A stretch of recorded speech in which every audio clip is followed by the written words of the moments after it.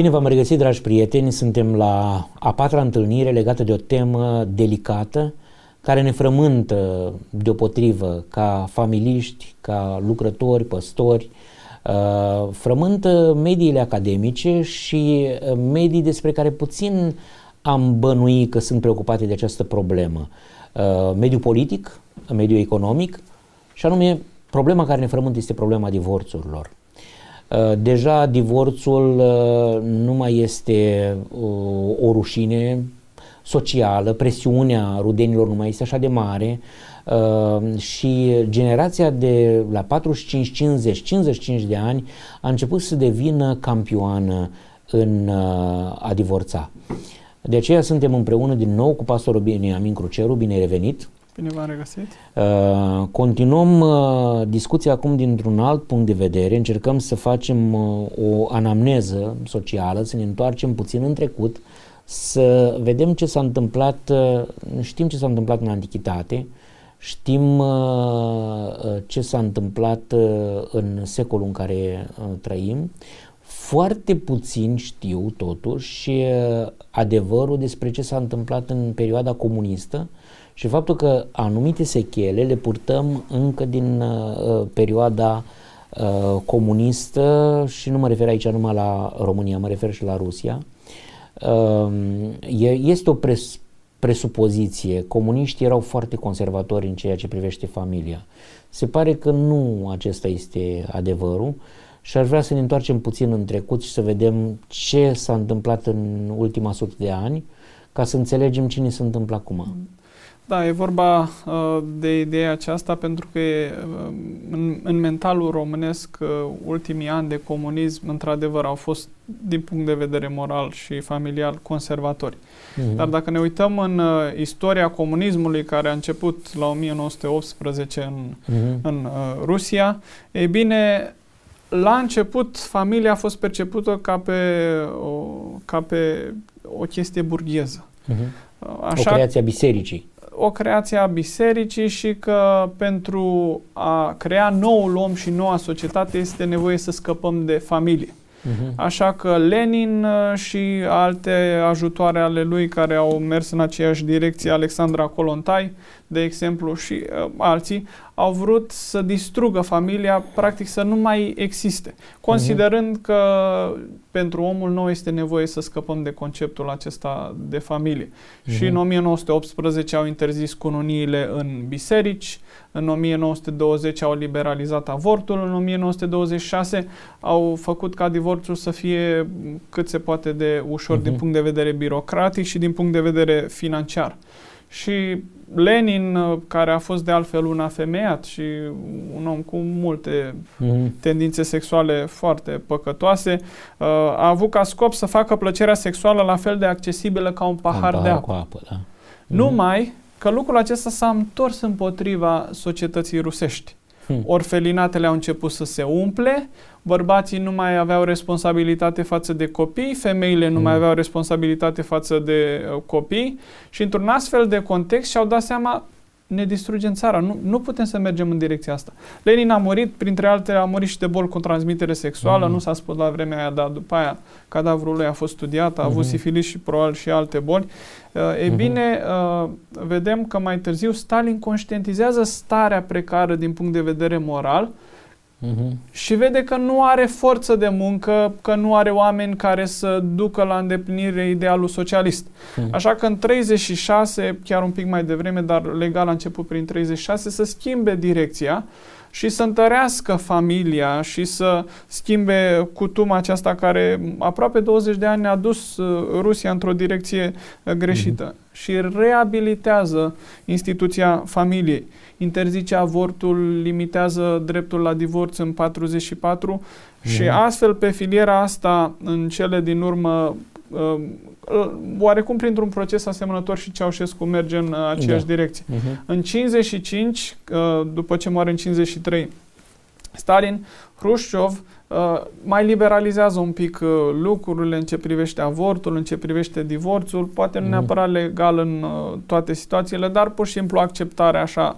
tacită. Mm-hmm. Și vedem că în 57 în România Gheorghe Gheorghiu permite avortul. Mm-hmm. Din păcate, la vremea respectivă în România, avortul a ajuns să fie tratat ca pe un mijloc contraceptiv. Mm și vedem uh, că are loc o creștere enormă a avortului hmm. și a divorțului.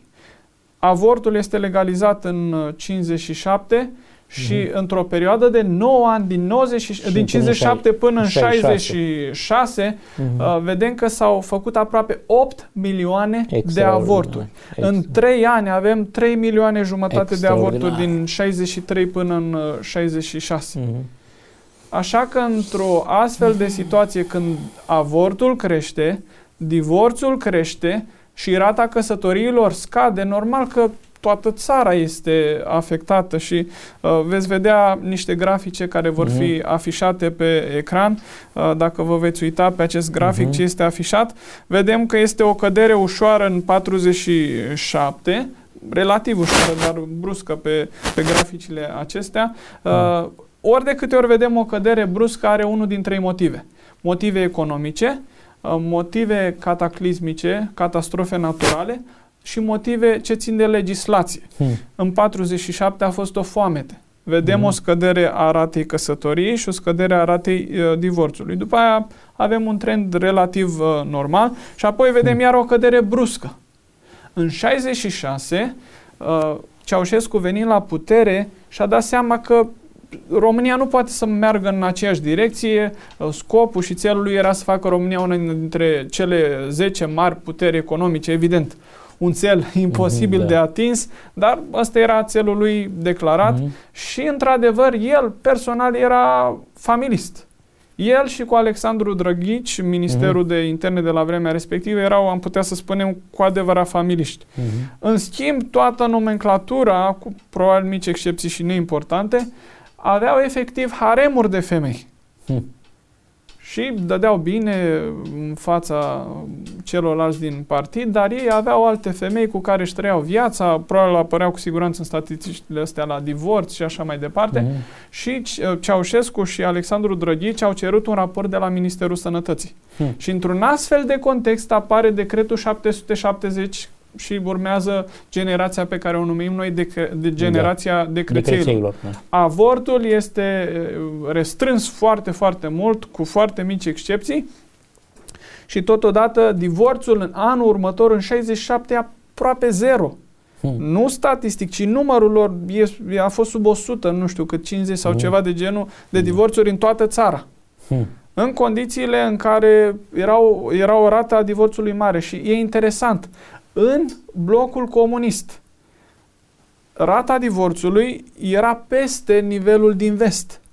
Deci hmm. comunismul Asta e o informație în, foarte interesantă. În prima parte a fost foarte progresist. Uh-huh. După aceea, pe considerente economice, în primul rând financiare, și-au dat seama că nu pot să continue în, în, în stilul acesta și de aceea caută să, să schimbe direcția. Și uh, pe următorul uh, tabel unde avem uh, cifre, vedem că să precizăm care este sursa acestor uh, informații? Uh, da, sursele tabelurilor sunt, uh, sunt mai multe. Uh-huh. Majoritatea sunt luate din INS, sunt uh-huh. informații publice da. și graficele, ace- deci, graficele acestea apar. Nu uh, sunt uh, cine caută, va găsi. Da, da. Uh, sunt informații publice. Nu, nu le-am creat da. noi, nu le-am exact, am manipulat exact. datele ca să fie în foarte fiecare clar. An, în fiecare an, uh, Institutul Național de Statistică ne dă aceste informații și sunt necesare uh-huh. să mhm. avem o, o imagine macro a schimbărilor demografice și Deci primul social. tabel a fost în România între 1946 și 1989. Da. Uh, apoi avem uh, uh, rata divorțurilor între 60 și, și până 2018, 2018, da, în Europa. În uh-huh. țările Uniunii Europene și mai jos uh-huh. găsiți și țări care nu sunt acum sau n-au fost uh-huh. parte a Uniunii Europene. Aici avem uh, un, uh, două tabele, va urma încă unul, în care vedem uh, rata divorțului din 60 până în 2018, luat de la Eurostat și vedem că în, do- în 1960 uh, România avea o rata divorțului de uh, două divorțuri la mii de persoane. Hmm. La momentul ăsta, în anul 2019, rata a fost de 1,6. Hmm. O Interesant. rată mai mică a divorțului acum decât atunci. Interesant. Dacă ne uităm la uh, Letonia, scrie Latvia pentru că este în da. engleză, da. vedem o rată a divorțului de 2,4. Mai mare, da parte la un număr de locuitori mult mai mic. Mult mai mic, exact. Uh-huh. Parte a, a, a, com, a țărilor comuniste, vorbim uh-huh. de Letonia care era comunistă. Dacă ar fi să analizăm, vedem un trend a divorțului mare la vremea respectivă în țările comuniste. Unele dintre aceste țări, precum România, au luat măsuri împotriva divorțului. Uh, dar în același timp trebuie să ținem cont că și rata căsătoriei era mare. Da, da, nu da. doar comparăm cu anul uh, în care trăim, în cazul acesta vedem că, e, că avem informațiile până în 2018, 1,6 pentru România și uh, e interesant că Letonia merge pe trendul ăsta până în ziua de astăzi, 3,1 mm. rata divorțului în 2018. Mm. Deci anumite trenduri uh, din societate se văd în numere. Fiecare cifră, fiecare număr de aici înseamnă durere, înseamnă suferință când vorbim de hmm. divorț. Fiecare număr în dreptul avortului înseamnă crimă. Hmm. Uh, dar este important să avem o imagine de ansamblu. Ne uităm la uh, rata căsătoriei în 1960, pe următorul tabel, tot de la Eurostat. România avea o rată de 10,7 căsătorii la 1000 de persoane. Uh-huh. La momentul acesta avem o rată de 7,4 uh-huh. în 2019 și în, 2000, în 2018, mă scuzați, în 2019 a scăzut uh, un pic. Uh-huh. Țara cu cea mai mare rată a căsătoriei, interesant, era Letonia. Uh-huh. Uh, deci erau multe căsătorii, și erau și multe uh, divorțuri. Da, da, în da, ziua da. de astăzi s-ar putea să fim înșelați și să zicem rata divorțului nu este așa de mare. E mai mică decât 1960, uh-huh. surprinzător. Nimeni nu se gândește la lucrul acesta. Dar a scăzut numărul de căsătorii. Da. da, da Sunt da. divorțuri, în ghilimele, la negru, mm-hmm. necontabilizate, în care un cuplu coabitează, hotără să se despartă și se despart și nu apar în statistici și în cifrele mm-hmm. acestea. Lucrul acesta se întâmpla mult mai rar în comunism. Uh-huh. Da, avem o cădere a ratei uh, divorțului, dar și a căsătoriei în uh, comunism în 1966-67 după căderea uh, Uh, după schimbarea legislației. Mm. Vedem iar în mod interesant, nu am amintit, uh, dar a fost și o cădere a căsătoriei și divorțurilor în 77. Uh, Tot sta mm-hmm. și mă, ce s-a întâmplat în 67 de o cădere bruscă? Mm. A fost mm. cu tremurul. Da, Vedem da, cum toate aceste, da, aceste catastrofe, aceste schimbări mm. legislative și economice Uh, pentru că în boom economic crește numărul de căsătorii, mm. dar crește și numărul de divorțuri și scad în, mm. în uh, probleme economice, în mm. depresie economică. Ne, ne explică motivele. Nu doar că are loc o scădere a căsătoriei, dar are, o, are loc o scădere și are loc o creștere a vârstei la care se căsătoresc oameni. Mm-hmm. Oamenii coabitează, la 20 de ani stau împreună, se despart, se împacă, nu apare în mhm. statistici. Mm. Dar avem o creștere foarte mare a vârstei la care se căsătoresc uh, Mai este români. și urbanizarea probabil aici, pentru că la sat căsătoriile erau foarte timpurii. Bunica mea la 16 ani era deja căsătorită. Nu, era, uh, nu erau școlile, nu era liceu, nu era facultatea, Uh, tinerii rămâneau în sat, în satul lor, era și proverbul ăla, te căsătorești cu o fată din satul tău, da. așa că uh, se întorceau băieții de la armată, armata era un sine qua non, fără de care nu se putea să da. te căsătorești, veneau bărbați acasă, luau o fată mm, în, în fragedă uh, tinerețe, se căsătoreau, rezultau copii, 12 în cazul mamei mele, mama vine din familie, familie 12 copii, uh, cariera fertilă era foarte mare, de la 16 până la 46, 48, 50 de ani erau, aveau o carieră fertilă și iată cu o natalitate foarte mare. Între timp, uh, după uh, anii 60, uh, epoca industrială comunistă, mutarea da. masivă înspre da. orașe, căminile de nefamiliști, da, da. apar mutații mari de, de, de băieții izolați, fetele textilistele, băieții pe șantierele patriei, apar, apar fenomenul, fenomene de astea de întârziere și din cauza școlarității da. prelungite, în anii 70-80 liceul laseral,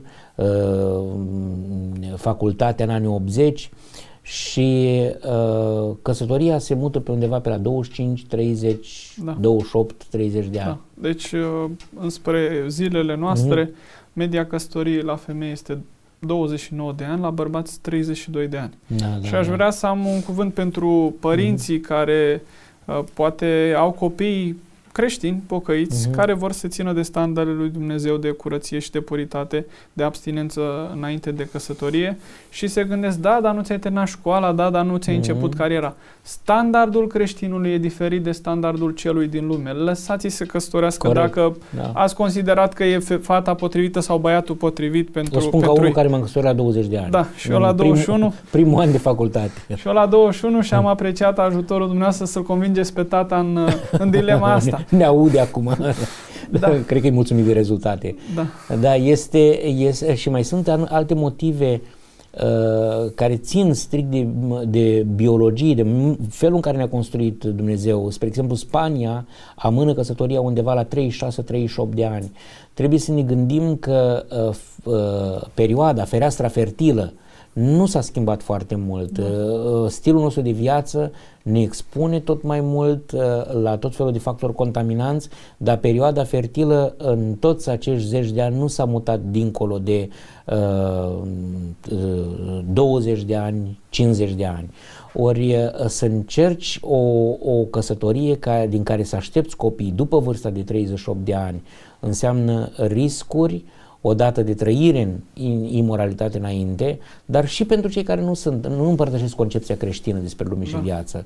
Gândiți-vă în mod egoist, dacă nu altfel, că uh, șansa dumneavoastră de procreere și de multiplicare biologică scade cu fiecare an amânat în da. căsătorie. Da, așa este.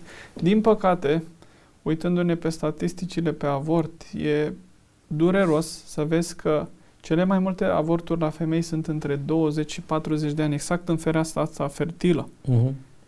Femei căsătorite, care astăzi fac da. avort. Și știu cazuri. Soția mea a fost abordată de um, uh-huh. o astfel de persoană. Simțea deci nu puși tu ai cele care au nu, o sarcină nu. în liceu nedorită nu. și spui că acolo e majoritatea. Da, da, da. Deci uh-huh. femei care ar putea să aibă copii, au uh-huh. soț, și soțul zice, nu că ai început o slujbă nouă, nu că avem mm. rate, ne ajunge un copil. Uh-huh. Într-o astfel de situație, povara unei astfel de femei e grea, pentru uh-huh. că mhm. ar fi putut, ar fi avut tot contextul potrivit. Da, e un pic mai greu financiar, e mai greu să pierzi nopțile nedormite, uh-huh. dar copiii sunt o binecuvântare, nu un blestem. Uh-huh. Și, din păcate, România a fost campioană a ratei avortului. Avortul a dus și la o crește, creștere a ratei divorțului. În ce sens? Pe de o parte a fost sindromul Amnon în care mm. faci ce-ți place și după aia simți vinovăție și nu mai vrei să porți responsabilitate pentru mm. uh, ce ai făcut greșit și uh, avortezi în cazul acesta. Dacă ne uităm, așa cum spuneam, până în 66 o rată extraordinar de mare a avortului și va apărea un mm. grafic acolo Uh, e preluat de pe un site care se ocupă de avort, pre, apare jos de tot și numele uh-huh. site-ului. Până în, uh, în 66, rata cea mai mare a avortului a fost fix în 1965, deci nu uh-huh. 90. Avem iar un alt mit aici. În 1990, în România s-au omorât cei mai mulți copii. Nu. Uh-huh. Într-adevăr, a fost aproape cifra, în jur de un milion, dar a fost sub un milion. În 1965 am avut 1.112 avorturi înregistrate legal. Hmm. Presupun eu că pe lângă toate cifrele astea da, vor fi fost și... au fost hmm. mai multe și în special după 66 iar avem cifre ale hmm. avortului, dar în perioada comunistă cei mai în vârstă știu foarte bine se făceau foarte multe avorturi ilegale. Da cu tot felul de femei da, care da, se inclusiv la specializau. moașa satului. Da, da.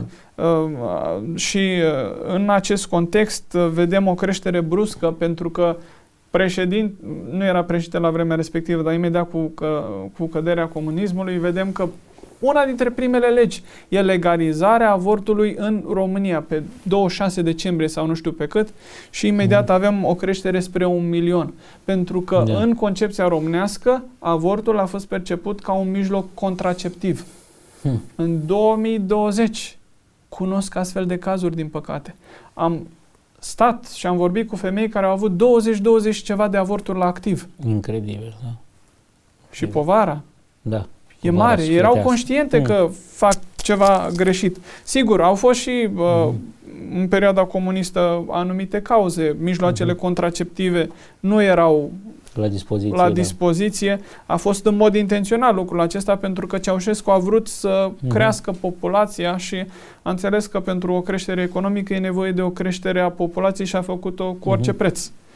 Uh, dar este dureros să vezi o mhm. astfel de rată a avortului și acum, după 90, din 92 deja suntem pe o rată negativă a fertilității. Uh-huh.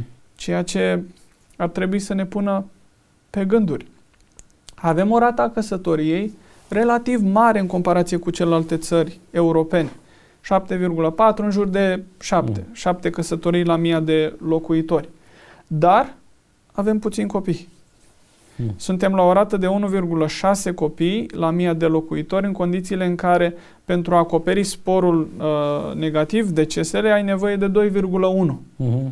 Uh, la noi se nasc în jur de 200 de mii. Uh, veți vedea niște cifre care prezintă pe ani uh, rata aceasta a nașterilor, a noilor născuți, apar de multe ori știri alarmante la sfârșitul anului în care ni se spune cea mai scăzută rată din tot timpul mult timp le-am crezut și eu, nu uh-huh. sunt adevărate pentru că sunt parțiale nașterile respective. Uh-huh. Până prin mai-iunie trebuie așteptat când primim datele de la INS care sunt uh, complete, complete exact. Uh, uh-huh. Într-adevăr, în, din 2016 încoace ne-am învărit undeva la 200.000 de nașteri pe an, undeva la 250-260.000 de decese.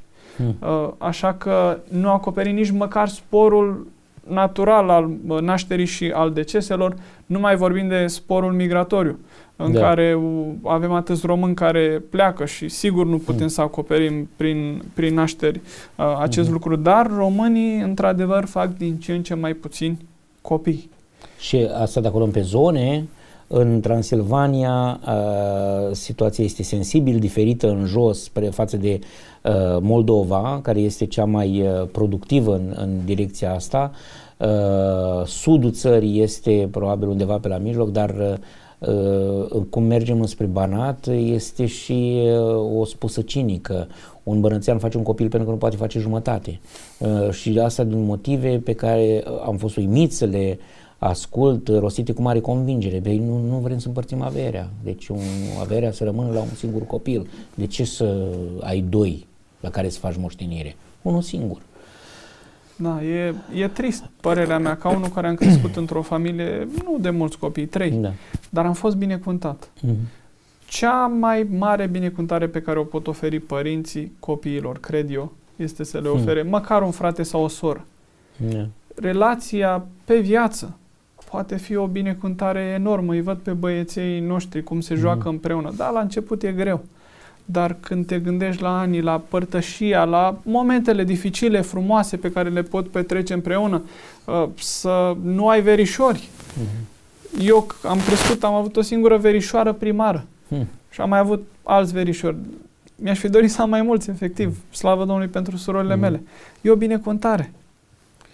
Uh, asta în contextul în care am avut o altă emisiune cu un alt invitat în care sfatul dânsului era să-i creștem pe copii și dacă sunt fete, băieți, nici măcar să nu le faci camere separate, să-i ții fetele într-o cameră, băieți într-o cameră, ca să creeze relații sănătoase unul cu celălalt. Uh, uh, camaraderia, fraternitatea care se creează între frați rămâne ca un reflex de viață pentru întreaga, întreaga durată de viață. Da. Acum, întorcându-ne spre perioada noastră, că tot vorbim despre divorțuri, uh-huh. uh, o să mai punem încă un grafic, uh, este luat de pe Hot News, cele pe care le vedeți cu cifre albastre, uh, cu cifre roșii și cu linii albastre sunt uh-huh. de obicei luate de la Hot News, nu știu exact ei dacă le-au făcut sau le-au preluat din altă parte de la INSE, uh-huh. eu mhm. nu le-am găsit. Uh, ei pornesc din 1960, au apoi o perioadă din 65 în 75, 76 când este uh, uh, un gap, o pauză. Vedeți 76 și 77, uh-huh. Mhm. avem 36 aproape de mii de divorțuri în 76 și 25 de mii în 77. Vorbim de cutremurul uh-huh. din 77, mhm. oamenii n-au mai a avut ei chef, s-au stat cu gândul la divorț, cu siguranță uh-huh. au fost alte probleme. Sistemul da. birocratic sau tragedia fost... i-a, i-a unit. Sau i-a unit, da. Uh-huh. Sistemul birocratic a fost dat peste cap. Uh-huh. N-am prins acele zile, cei care le-au prins știu uh-huh. foarte bine. Vedem uh, iar uh, o creștere în 91 uh, de la 32 33 aproape 90 în 92 uh, este o creștere relativ ușoară a liberalizat oarecum în gândire uh, capitalismul în forma în care era atunci, în propriu spus da, da. capitalism atunci. Uh, în 92 vedem cădere. În momentele de criză economică, oamenii nu mai, diver, nu mai divorțează. Când le este greu, când lațul este strâns, îți dai seama, nu-ți mai permis să plătești două mhm. chirii uh-huh. sau uh, să plătești yeah. două rate, să plătești utilitățile în două apartamente. Sigur, uh-huh. la noi la români se merge foarte mult pe varianta mămul la mama, mămul la tata, la sora, uh-huh. la fratele din motive financiare de cele mai multe ori. Dar realitatea este că în țări dezvoltate precum Statele Unite, economia încurajează divorțul și convine să fie două facturi la internet, două facturi la apă, două, două rate la, la case. două case, da. exact. Uh-huh. Industria imobiliară jubilează când rata divorțului crește pentru că înseamnă mai multe, mai multe case. case, exact, în țările uh, dezvoltate. Înspre uh, perioada noastră mai recentă, vedem că are loc o creștere a divorțului nu spectaculoasă, dar din 2010 în 2011. În 2010, uh-huh. an de criză, uh, vedeți 2008, 35.685 de divorțuri, o cădere ușoară, nu bruscă, din motive economice. A venit criza. Tot criza, da, din 2008-2010, da. Exact. Și uh-huh. totuși în criza avem o creștere din 2010 în 2011. De ce? Schimbări legislative. Uh-huh. Atunci s-a permis divorțul la notar. La notar, da. Uh, și în cazul acesta divorț pe cale administrativă uh-huh. este numit. Unii au profitat și au zis scap repede, oricum voiam să uh-huh. divorțez, merg pe calea aceasta. Totuși, pentru România, multe divorțuri se sfârșesc la tribunal. Uh-huh. Și lucrul acesta încetinește procesul, îl lungește, îl face să se întindă pe o perioadă da, da. și dă timp mai de lungă. împăcare, da. Dă timp de împăcare și în același timp duce și la mai multe uh-huh. tensiuni și certuri. N-aș spune că, e, evident, niciuna uh-huh. dintre situații nu este bună. Pe de altă parte, cei care vor să meargă repede cu viața lor sunt dispuși să sacrifice financiar. Ia tu cât voi vrea, eu vreau să mă recăsătoresc și uh-huh. vreau să scap cât mai repede, mergem la notar și semnăm actele și pe orice cale posibilă, fie pune presiune, fie acceptă să renunțe financiar, scapă mai repede și divorțează mai ușor.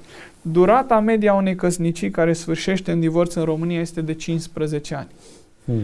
La bărbați Procentul cel mai mare de divorțuri este între 40 și 44, vorbim de anii recenți 2018-2019. Criza la vârstei mijlocii. Da, exact. Uh-huh. La femei, pentru că de obicei femeile sunt mai tinere, uh-huh. o diferență de 3-4 ani, undeva la uh-huh. 3 ani în medie între bărbați și femei, spre 30 și 34. Uh, e dureros că 15, că e doar 15 ani, Evident, fiecare divorț, așa cum spuneam, înseamnă uh-huh. durere, înseamnă suferință, așa că, statistic vorbind, se întâmplă ceva. Însă, în ultimul timp este, uh, uh, nu știu dacă statisticile confirmă, dar ceea ce am observat empiric, cu așa, trăgând cu urechea și cu ochiul în stânga în dreapta, este că uh, este o creștere semnificativă a divorțurilor celor care sunt uh, peste 50 de ani sau da. în jurul vârstei de 50 de da. ani. Asta poate, exact generația de crețeilor. De ce eu fac parte din acea generație, generația de crețeilor, cei care au ajuns acum la 50 de ani și care s-au uh, eliberat de foarte multe complexe, de foarte multe presiuni sociale și-au crescut copiii, eventual copiii le-au plecat și domnule, acum sunt liber, de mult vroiam să divorțez și așa trăiesc cum trăiesc, acum vreau să scap. Și este o creștere sensibilă în ultimii ani pe acest segment. Da. Din păcate, România este campioana europeană hmm. a ratei divorțului peste 20 de ani de căsătorie. Hmm. Deci, Interesant. Dintre toate țările din Europa, în contextul în care ai țări care divorțează mult, Spania, hmm. Portugalia, uh, Belgia la un moment dat a fost uh, hmm. ghilimele campioană ajunseseră aproape la 70%, nu mai știu exact prin ce an. Acum uh-huh. Spania este iar la o rată, o rată fenomenală și am văzut că Italia a avut o creștere exorbitantă din cauza pandemiei. Uh-huh. Urmează să fie publicate cifrele. Uh-huh. Uh, e bine, România pe categoria asta 20 de ani plus de căsătorie. Probabil că oamenii încep să fie confortabili din punct de vedere financiar, iar uh, să-ți meargă bine financiar, de multe ori poate să ducă la divorț. Un mm-hmm. bărbat de succes s-a săturat de nevasta lui, vrea una mai tinerică, firma îi merge bine, economia merge bine, își lasă soția, își mm. ia o altă femeie, um, nu îi mai ține nimic împreună. Înainte era mm. tensiunea asta și erau problemele financiare, avem un, alt, un singur mm. apartament unde să mă duc dacă mă despart de el, chiar și în situația în care poate bărbatul mai bea, își mm-hmm. mai mhm. bătea nevasta, ea stătea acolo și îndura. Da, nu rău cu rău, că, dar mai rău fără rău. Exact, nu spun că evident mm. nu doresc asta nimănui și nu e bine, nu trebuie să stai mm. doar așa pur și simplu să înghiți. Am discutat despre mm. asta în emisiunea trecută, asta este altă discuție. Dar prosperitatea financiară și materialismul va duce la o creștere a divorțului. Mm. Vedem familii care se despart uh, emoțional, se despart fizic, unul pleacă în uh, altă țară, lucrează acolo, ea rămâne acasă, are grijă de copii și peste câțiva ani el zice gata, divorțăm. Mm-hmm. E normal când te desparți fizic să ajungi în cele din urmă și la un divorț legal. De asta spun tuturor celor care vor să plece în străinătate.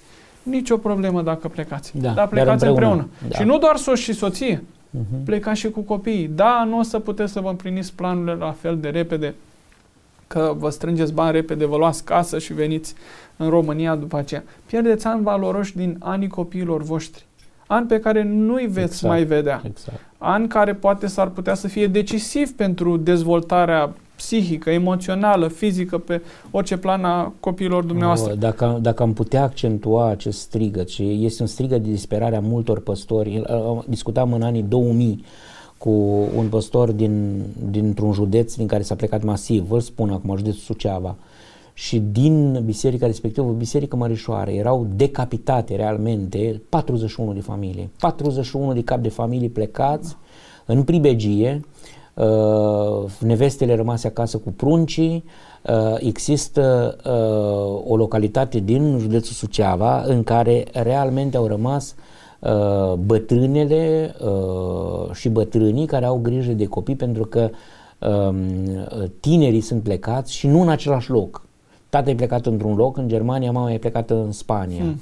Uh, și acum de la destinație, cei care ajung acolo povestesc scene de groază. Ce frate, am trăit în, în, în, într-o mizerie biologică da, da. și într-o promiscuitate morală. Eram opt într-un apartament da. de două camere, amestecați bărbați cu femei. Gândiți-vă ce poate ieși din chestia asta da. în lumea în care trăim. Așa este. Deci românii sunt dispuși să trăiască niște condiții mizere. Nu mm. vă chinuiți sufletul pentru lucruri care sunt trecătoare prețuiți familia, prețuiți-vă mm. soțul, soția. Nu zice nimeni să nu vă duceți. Mm.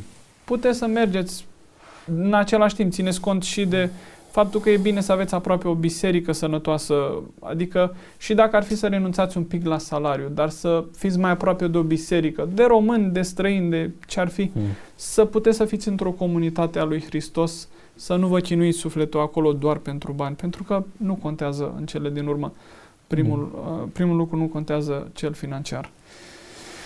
Da, mergând înainte prin statisticile pe care le-am cules, uh, tot de la INS, aș vrea să vedem uh, o rată a nupțialității, adică a căsătoriilor. Uh-huh.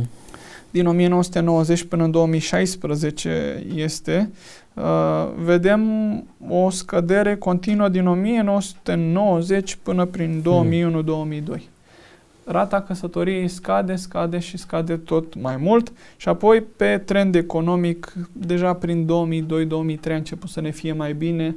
În 2003 mergeam în Europa fără viză, e un an important 2003 și 2007 uh-huh. Mhm. intrarea în Uniunea Europeană și vedem apoi o creștere pe trend economic ani în care se dădeau împrumuturile alea cu buletin, economia bubuia, totul boom, era da, da. extraordinar și vedem în mod spectaculos, deci e o creștere atât de bruscă a ratei căsătoriei în anul 2007. Uh-huh. Mhm. În anul 2007 s-a introdus o legislație din fonduri europene în care cuplurile care se căsătoreau primeau 200 de euro. Mm. Și vedem o creștere bruscă a ratei uh, căsătoriilor de la țară. Da, da. Foarte multe cupluri care stăteau în concubinaj la țară nu s-au căsătorit 40, 50, 60, 70 de ani. Poate unii mm. n-au fost căsătoriți toată viața. Și dintr-o dată, pentru 200 de și euro... Și comunitățile de romi aici a fost, uh, pentru că asta a fost o lege prin care în comunitățile de romi care au fost foarte rezervați la a-și face buletine, da, da. era acum posibilitatea de a face și buletin și certificat de da. naștere da. și, și acolo a fost o, așa, un, un trend ascendent în comunitățile astea marginale, spunem noi, care s-au, s-au ferit de înregimentări de orice fel, inclusiv uh, uh, birocratice, iată, apar dintr-o dată în statistici, comunități mari de altfel, da. care nu apăreau da. nicăieri. Da. Erau sub nivelul radarului birocratic. Da, mie mi se pare un lucru bun. Uh-huh. Să scoți de la negru da. oamenii care n-au, căsă, n-au căsătoriile la activ, nu au buletine, certificate uh, făcute. Deci uh, asta motivează creșterea aceasta a căsătoriilor, apoi evident în anii de criză economică o descreștere. Uh, sigur, e și trendul moral al societății, trendul societal uh-huh. în care căsătoria este pe descreștere. Și totuși, România, așa cum spuneam, este uh, deasupra țărilor europene. Uh-huh. Într-un fel, în mentalul nostru, suntem motivați și de partea financiară. A, suntem una din puținele țări în care se dau da, bani la nuntă. Dar nunta de e o afacere, da. Și nunta a devenit o afacere în care vrei să te căsătorești, în unele cazuri și dacă divorțezi după aia, dar măcar să-mi fac nunta, să-mi scot banii. Să-mi scot pârleala, da. Exact. Doar n-am mers degeaba la nuntă mm-hmm. să dau atâția bani. Că... Ca, ca să explicăm celor care nu știu, poate ne urmăresc și în diaspora, care nu știu cum se mai petrec lucrurile în România, aproape poate unii ați aflat. Uh, în momentul când are loc câte o nuntă, uh, este datoria socrilor ca să stea cu catastiful. Uh, se desfac plicurile, cine a dat cât. Se notează pe un catastif și știi ce datorii ai.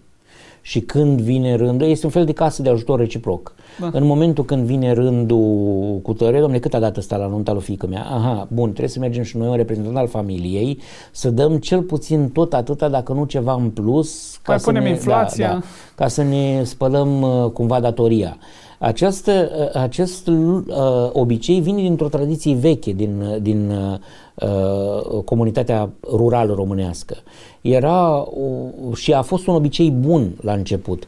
Întreaga comunitate se strângea în jurul familiei și fiecare ducea câte o găină, câte um, cei care uh, erau mai apropiați de familie, tata socru ducea o vacă uh, uh, și uh, se construia casa în circa 2-3 săptămâni, noua familie era plasată în, în mijlocul noii gospodării, care era doar o, o, un teren mai încolo de uh, fratele sau sora care s-au căsătorit ultimii. Dacă alucrucer ocupau capul uliții de aici, urma uh, Traian, Gogu și așa mai departe și se tot umplea ulița și ceilalți veneau în ajutorul celorlalți. Așa se năștea o nouă. Ei, de aici până a gândi mercantil, pur mercantil, mă căsătoresc, chiar dacă divorțez după aia, dar măcar uh, ne-am scos părleala, împărțim banii în familie și asta este.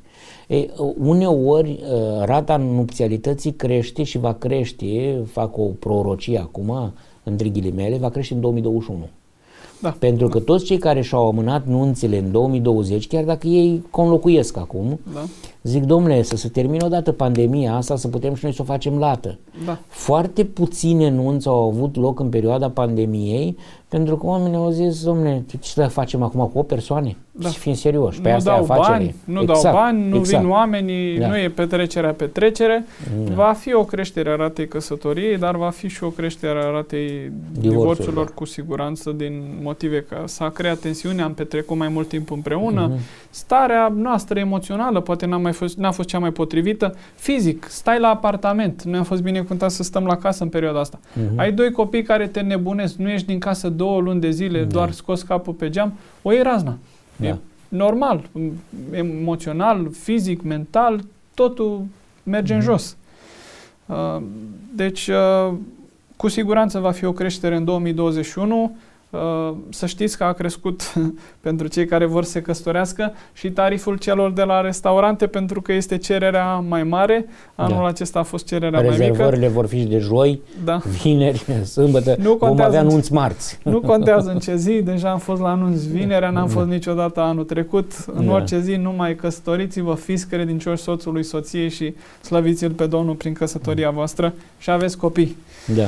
Iar uh, A, porun- să știi, apropo de natalitate, nu au apărut încă datele, dar uh, intuitiv uh, spun că vom avea o, o sensibilă creștere a natalității uh, după pandemie.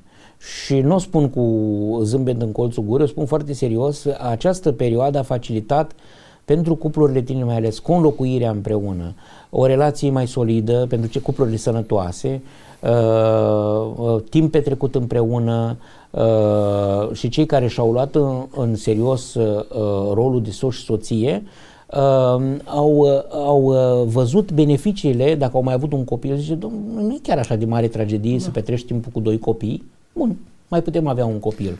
Nu o să fie. Și așa facem școala cu toți acasă.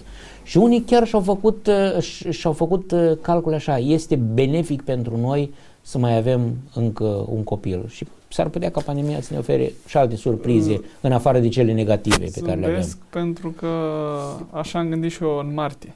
Uh-huh. Dar realizez că nu este așa. Uh-huh. Și vă spun de ce.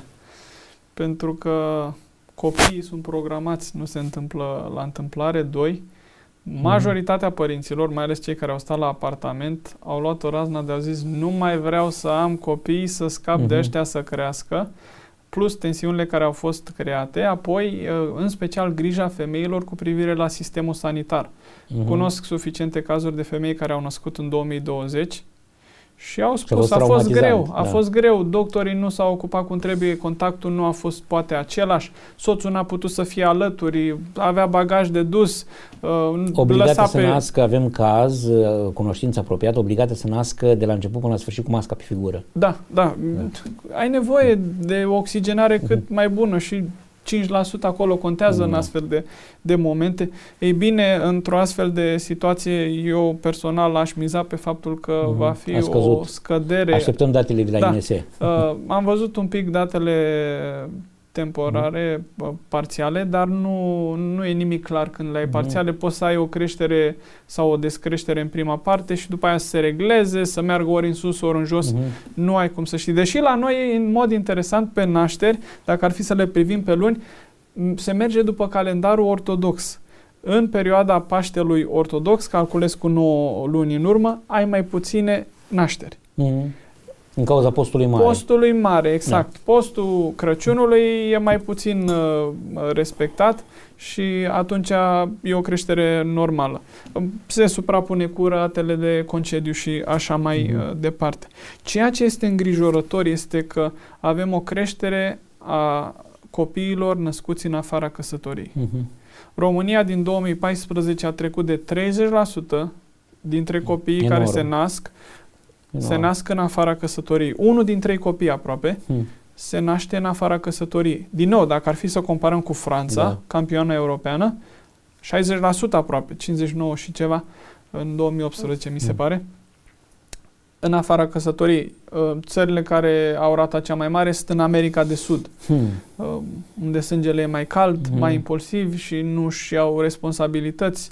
Chile, 70% aproape. Extraordinar. Mexic, uh, Costa Rica, mai multe țări din America de Sud au o rată enormă a copilor Acum, în afara căsătoriei. Uh, Bine, având toate aceste lucruri, pentru că ne apropiem uh, prea rapid de finalul emisiunii, având toate aceste statistici, date pe care le-am afișat, iată, de-a lungul emisiunii, dacă ar fi să ne apropiem de o concluzie, care sunt cauzele care duc la divorț în anii 2015-2020 și eventual cum putem uh, elimina, evita sau îmblânzi o parte din aceste cauze. Deci dacă ar fi să adunăm toate lucrurile astea într-o, într-o piramidă și să-i punem vârful acum, ce, care vezi că sunt cauzele și cum am putea să oferim soluții pentru cei care sunt implicați în uh, consilierea familiilor, cei care sunt implicați în rezolvarea conflictului de divorț, pentru colegii noștri păstori, pentru cei care sunt uh,